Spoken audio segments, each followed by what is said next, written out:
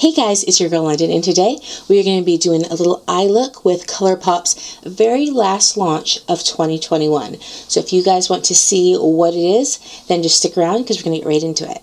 Okay guys, Happy New Year. It is 2022. So, ColourPop, they did their very last launch of 2021, and it was a pretty nice palette, and it was called By the Rose. And this had a full collection with um, blushes, lipsticks, things like that. I did receive this in PR.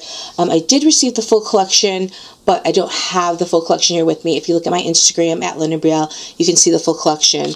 Um, I will show you two products I did use from the collection here in a bit. So, by the Rose. This kind of goes with their, I don't know if it was called champagne, but it was like a, a, New Year's palette that they did that was kind of nude um, and had like a yellow gold packaging. This kind of goes with that. So I think this is really, really pretty. They did release their bigger um, rose palette earlier in the year. And this to me reminds me of just a smaller version of that. So there is no mirror in this, but it does have, you know, some pretty nice decorativeness. Um, these are the same size as the pans that were in the Tinkerbell collection. They're kind of going with these larger pans lately, which I like because you get a little bit more bang for your buck. But this palette is $14 versus typically being $12. I think it's because the pans are a little bit larger now. The pans now contain 9 grams or 0.32 ounces I wish I had thought to get a ColourPop palette to bring with me over here so I could have compared, but I do not have it. But I'll put it in the information box, kind of what the standard 9 pan palettes uh, have as far as how much shadow is in there compared to this. So as you can see, this is a very peaky kind of pinky palette. The whole thing is pink. So even these lighter colors, this is just a light, light pink. Um, so if you don't like pink, this won't be for you. If you like pink, this may very well be for you. So I have to film some other videos today, so I thought, well, if I'm already going to be putting on my makeup, why not go ahead and film a video with you guys. So, like I said, this is the last palette from ColourPop for 2021. This was released on December 30th. Um, and like I said, it's $14. I, ha- I will put all the information in the information box. Um, and clearly it is already 2022, so I'm a little late on posting the video, but I did post over on Instagram about it. So let's go ahead and let's get into this palette, shall we? We shall. So I will go ahead and, like I usually do, somewhere around here, I will put the palette and let you guys see what shadows I am using from the palette. So we're going to go ahead and I think we are going to start with something called Sunday Soiree. And this does not have any of the pressed glitters in it, which thank goodness it doesn't. But it does have one, two, three, four, five shimmers. Um, well, technically it's probably four shimmers, and then it has one of the mattes with the sparkles in it. And then it has four true mattes in there. And like I said, we're going to use Sunday Soiree, which is kind of like a mid-tone, rosy um, nude. I am sitting here, like, trying to look into my viewfinder. I don't know why I don't have a mirror here. I am so like, guys, 2022 is already starting off rocky. You guys know I can't see the viewfinder, right? Remember, I'm blind without my glasses. I'm just here just willy-nilly, just who, knows what I think that I'm doing, because I have no mirror. So let me get a palette over here that does have a mirror, because your girl is slipping and tripping today. Okay. So let's go ahead and let's just put this on and see what it's going to do. I do have all of my base makeup on, and I did use the Milk Makeup Grip Eyeshadow Primer today. So I am continuing to use that and see how I like it. It's I can say it's an interesting eyeshadow primer. Very, very interesting. Okay, so let's go in for some more. This palette is not super powdery. So ColourPop usually is in between. It's not as powdery as ABH, but it also isn't as pressed as hard as some other shadows, kind of like a CoverGirl or whatnot. Um, this one is kind of in between. It feels pressed more firm than some of their other palettes have been pressed, which is fine because I feel like then you can build it up. And especially with these kind of pink tones, I think that that's appropriate because I think sometimes you can come out of the gate a little bit too much and then you can look like you're one of those white rats with kind of red around your eyes. So I really do like that color. I am a kind of pinky eyeshadow gal. So I enjoy pinks, pink tones, roses, mauves, things like that. So if you are not into that, this certainly is not going to be the palette for you at all because that's really all you have to work with here. Like there's a kind of quasi brown in here called Sweetness, but really it has more of a deep mauve undertone and it has uh, sparkling shimmers in it. So you don't have any kind of deep matte in here that is not a mauve or some shade of pink. Everything is a hue of pink. So again, if you're not into pinks, this certainly is not going to be for you. But so far, so good. I like, I mean, I tend to like ColourPop eyeshadows. I think that they are a good value and you get a good bang for your buck. And I think that overall, even if they were $20, I think that they would be worth it, in my personal opinion. Okay, so we have that. And I do take it up past my crease because as you guys know, I do have hooded eyes, so we have got to create that crease, girl. We've got to create it. Now let's go ahead and we're going to go into Effervescent. And this again is just a deeper kind of pinky mauve. You guys can see it's a little bit deeper than what we just put. We're just going now into the actual crease of my eye. So we're going slightly lower than that first color and just deepening it up. You can see it is far more kind of right out the gate pigmented than our first color, which is good because that's what we want. We just want to slightly deepen up that right there. So guys, it's 2022. What are you guys thinking about it? How is your year going thus far? Um, did anybody do anything for New Year's? Uh, my husband and I, we live in New Jersey, so, you know, things are happening with the panorama, and uh, we just decided to stay at home.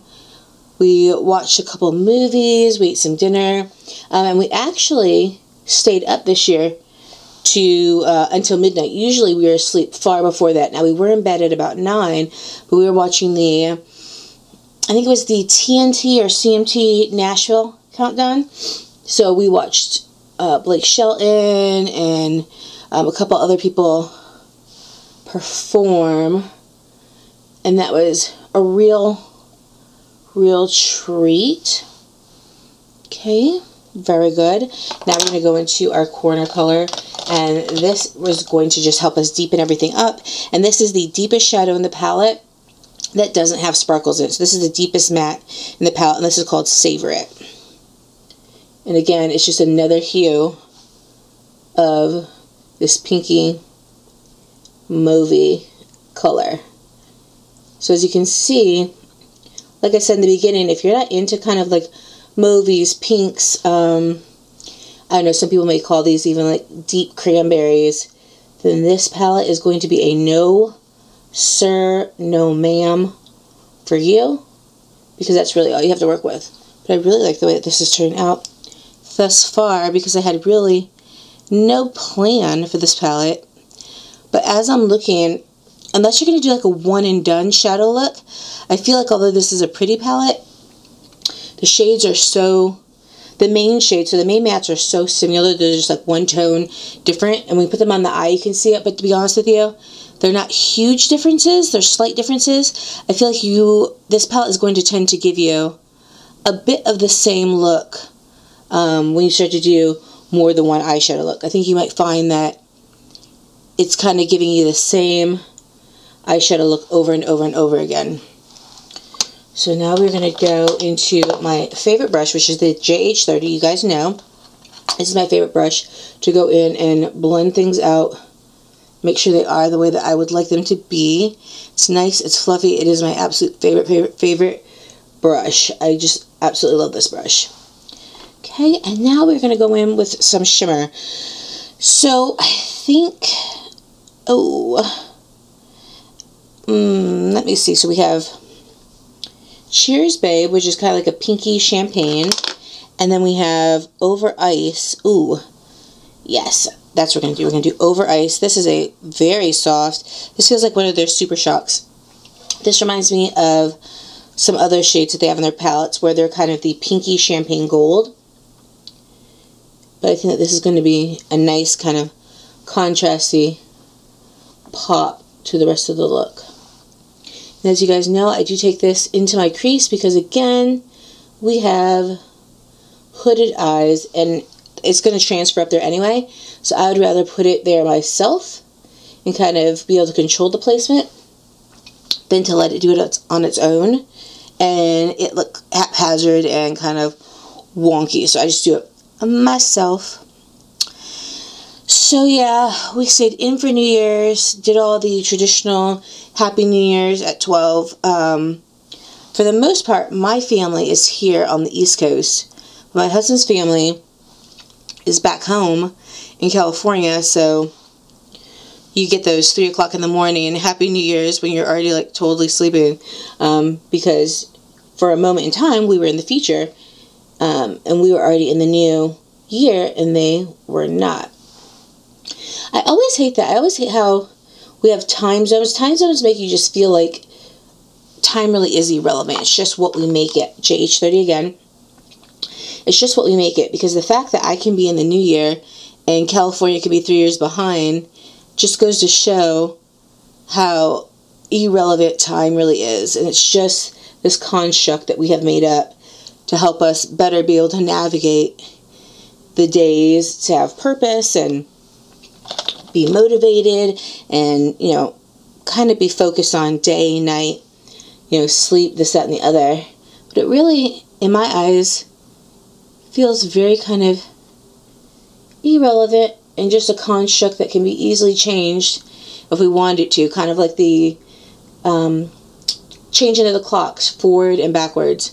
And I think it's was like Colorado or New Mexico or Hawaii. There's some states that don't actually ever change the time. They all year round keep the same time. They never fall forward, or they never spring forward and they never fall back. Um, which again just goes to show time irrelevant. So I really think that we should just get rid of that stupid spring forward and fall back. I think it's ridiculous. And I would like it to be sunny in the winter. I think that might be kind of cool. So we just went in with this brush and we went back into over ice and just put it right where my fingers couldn't get it. So now what we're going to do is we're going to do the lower lash line. And we're going to take Sweetness, and this is the almost brown looking color. Um, it looks like a brownie kind of mauvey mixed together color, but it has some little sparkles in it. Now, typically mattes with shimmers don't translate. It, they just blow off and it becomes a matte, but I'm going to use this on my lower lash line. So we are going to kind of see if, in fact, it sticks with tradition. Now, I can see the sparkles. So this seems to be holding onto the sparkles pretty well. And it might be because I'm using a smaller brush and it's not like a fluffy brush that I'm blending it out with. So this may be something that if you use it on the lid, as long as you use a packing brush, you might be able to get the brown and the sparkles to stick. Okay, like that. And then at the risk of being jaundice, what we're going to do is we're going to take this brush and we're going to go back into the first color we ever used which is Sunday Soiree, and I'm just going to very, very kind of deliberately and lightly put a little on here and just kind of blend this out a bit.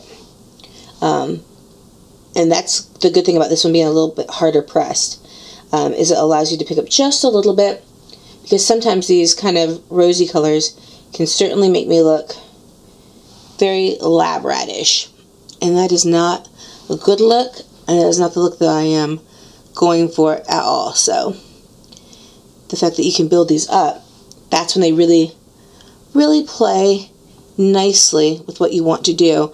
So all the time, it's not really great to have such pigmented pow shadows. Sometimes, you know, being able to build them up really is key. We're going to take the, hmm, take another brush, so a little bit, not too heavy. I'm going to take this, what is this? This is a JH40 brush kind of pencily. I'm going to go into the color, I think it's called, oh, Picnic Basket. I thought it said Peony Basket. They have it written like in an almost cursive. and it's a lighter pink, and we're going to use this as a brow bone highlight. Just put a little on.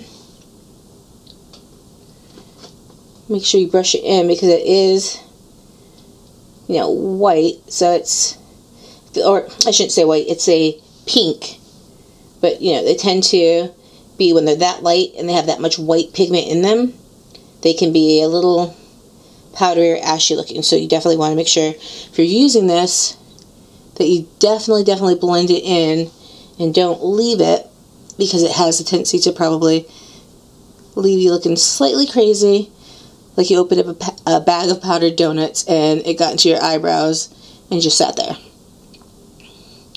So this far, like that, we're going to use the same brush and we're going to do our inner corner highlight and for that, we're going to use Cheers Babe. And this is like a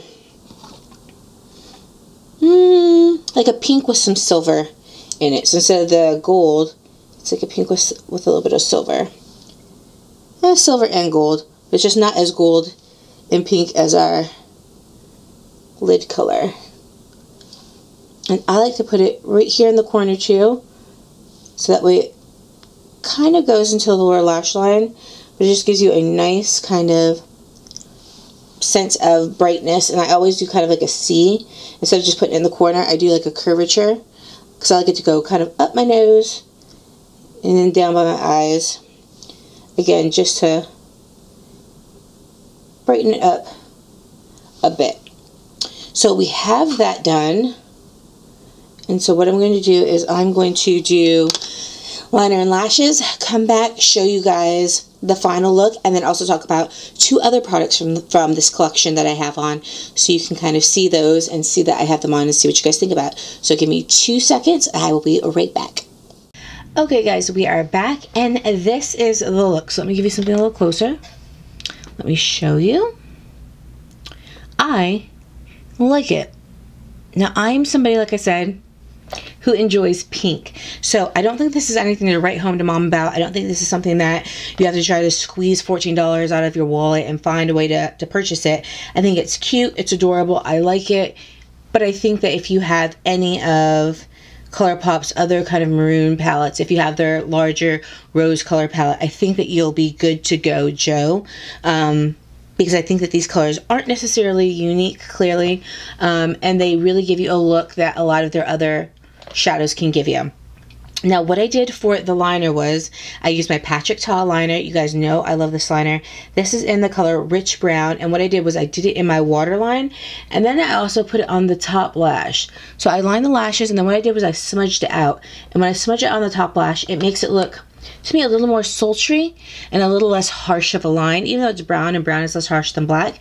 I think that it really kind of creates a smooth kind of soft look especially because we're using rose tones. I think that was appropriate to go with it for lashes i use my give them Lala beauty mascara you guys know i have been loving on this for a long time particularly because the formula feels like you've had it for a couple of weeks right out of the gate. It's not too wet, it's not too dry, and I really just love this brush. I love the bullet kind of size of it, and it's just, the shape is absolutely, absolutely perfect. So that's what I did for the lower lash line.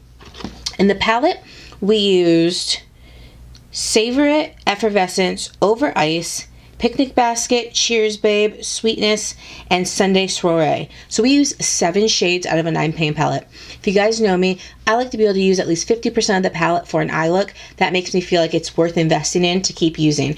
If I can't use that many shades because they don't go together, they muddy, whatever, then it really turns me off to the palette. So we definitely used over 50% of the palette. I would say this is probably what, about 85% of the palette. Um, we just didn't use two shades. So I think that that is fantastic. So I think that overall, this is a really, really nice palette, but like I said, I think that this is nothing to write home to mom about. It's nothing to try to rush out and go get. And I also think that you're going to end up getting something very similar to this look every time you use it because the shades are very similar. And I will give you guys some swatches in two seconds after I tell you the other products that I used. So for my cheeks, I use the Super Shock Cheek um, formula here that they have in the color No Way. This is a Super Shock Cheek Pearlized. This was a little different. When I put it on my cheeks, it went on with color, but it also went on with a sheen, um, almost like a highlighter. So what I did was I had to use another um, shadow on top of it. So this is what it looks like out of the gate. And this is what it looks like. So it's a really pretty iridescent pink and almost would be really pretty on the eyes too. So just remember, they have two more um, Super Shock cheeks in this collection. Remember if you use them, they're all pearlized, so they are not matte. You are going to get a shine, and they, they give off color, but they give off more shine than anything. Um, oh, let me get one of these wipes right here because I need to wipe my hands off so I can show you guys the rest of the colors. So like I said, I thought it was very pretty. Um, I saw Pearlized, but I guess it didn't really register with me. So when I put it on, I was like, oh, okay. It almost looks kind of like a wash of color and then the sheen. So what I needed to do was put on a another one um, over the top of it, which is fine because then it kind of gave me an extra highlight with my highlight and my blush. They also have some lip glosses that came with them there was three or lip lacquers and the one that I used was the color First Glass. The other two are um, Mauvey Pinky Tones. This one is also, but it's more on the nude side. So what I did was I lined my lips with the BFF liner number three, uh, which is kind of like a mid-tone nude, and I just put this on like this.